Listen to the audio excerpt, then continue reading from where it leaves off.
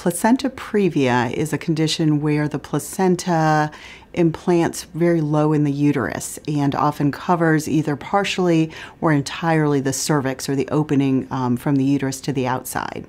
Placenta previa can be a serious condition.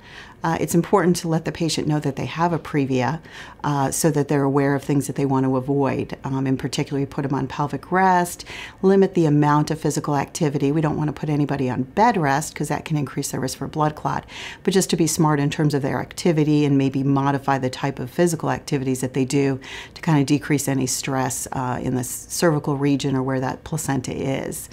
Uh, most people uh, like uh, uh, the majority of placenta previas will resolve by the third trimester, end of third trimester. So um, it may make somebody a little anxious at the beginning to know that. And when we're talking about restrictions, they get a little uncomfortable thinking that there's a, a problem when in many cases it turns out out not to be a problem. But the biggest concern with this condition is the amount of bleeding that somebody could present with uh, if that placenta starts to separate from the cervix.